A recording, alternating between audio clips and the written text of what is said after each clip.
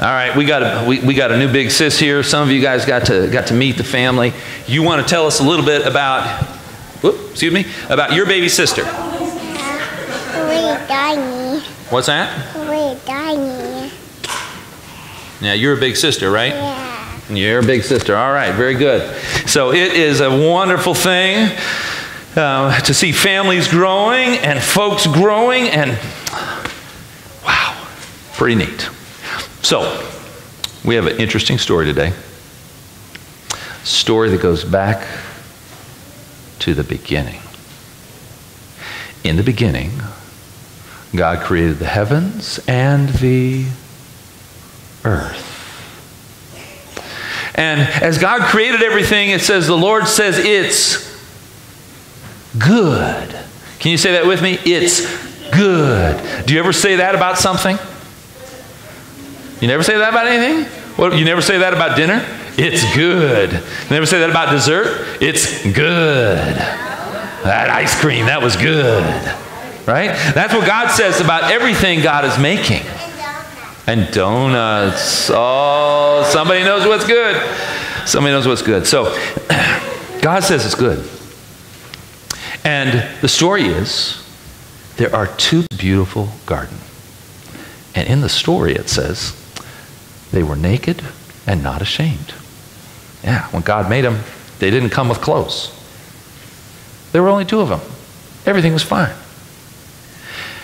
And there was a creature, it says in the story, that was more crafty hmm, than all the others. It was the serpent. It was a serpent that walked and talked. And the serpent came to the woman and said, Did God say you can't eat any of the fruit in this beautiful garden? No way. God said we just can't eat fruit from that tree, the tree that helps us know good and evil. We can't even touch it or we'll die. You won't die. God knows that when you eat it, your eyes will be opened and you'll become like God and you'll know good and evil. And isn't it supposed to, aren't we supposed to become like God? I mean, God made us in God's image.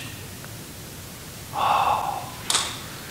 And so the story is she took some of the fruit and she ate and she gave it to her husband who was with her because they were together at the time.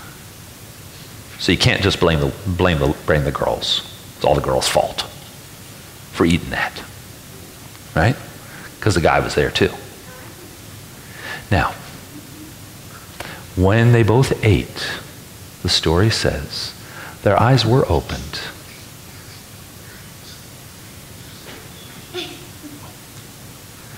Their eyes were opened, and they realized they were naked, but this time they were ashamed. And so when God showed up to go on a walk with them, they hid. They hid from God and from each other, which is a horrible thing to do, to hide ourselves. Did you ever feel ashamed of something? A couple times? Yeah. Some of you haven't. Good for you. I know what it's like to feel ashamed. You certainly want to hide. You don't want anybody to see you. But I'm really glad that even then, God comes looking for us, just like God did for that first man and that woman. And God keeps looking for us even today. Let's pray together. Will you guys bow your heads and close your eyes and repeat after me? Dear God, we thank you for your love. We thank you for looking for us. We thank you for making us good. Help us enjoy all you made. And help us not to hide. Amen. All right. Now we have worksheets for you, and I know.